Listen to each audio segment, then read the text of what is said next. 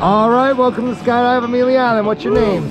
Chad. Kyle. First time skydiving? First time. You guys excited? Super excited. Scared? A little bit. Little, like, little scared. Yeah. That's okay, we're scared too. Perfect. Do you have any last words? I mean, things to say to friends and family that aren't here. Mm, Uh, look, guys, yeah.